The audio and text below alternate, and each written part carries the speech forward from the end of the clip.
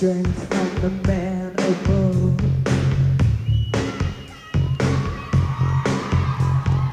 God of piston, God of